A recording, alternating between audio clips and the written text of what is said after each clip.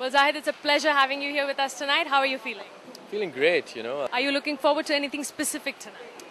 Well, you know, honestly, uh, it's just going to be great. Well, we welcome you here and uh, have a great evening. It's Thank a pleasure. Yeah, Thanks. thanks a lot, Zayed.